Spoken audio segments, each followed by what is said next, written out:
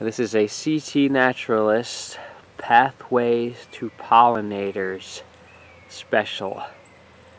We have a nice patch of milkweed growing in the backyard and every day we are going to investigate the milkweed because there are so many insects and such a diversity of life that you could come and look at this milkweed every day and find something new.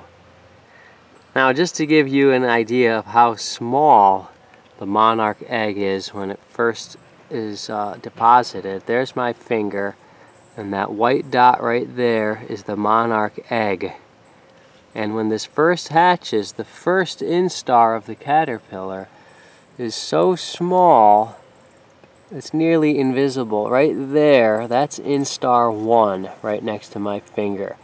I'm going to slowly zoom in and we're not using our macro lens but we'll get as close as we can and you will see that little caterpillar right there doesn't even have its real stripes yet. That was the, whoops, that's the first phase of uh, the monarch development. So instar 2 will be when the caterpillar starts to get those little horns and its famous stripes.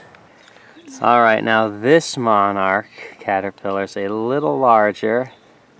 You can see that it's already started to eat this leaf. You'll see those chew marks there. And George is going to point his finger next to the caterpillar right now so you get a idea of the size of the scale of that caterpillar.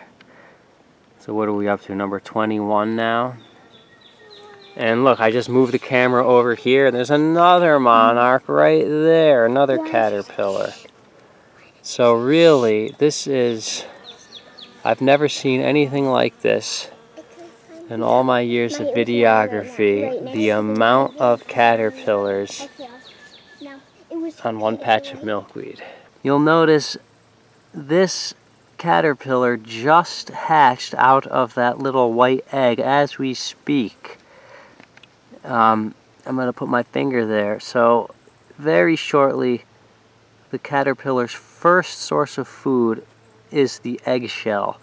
It will turn around and begin eating that egg casing for some early nutrients.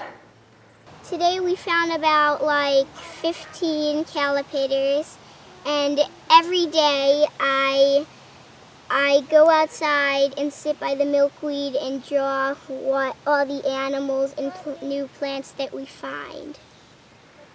So this is George's pictorial nature journal. And as you can see, he's recorded the caterpillars that we found today. So we will be seeing what else we can discover. CT Naturalist TV, Pathway for Pollinators, signing off.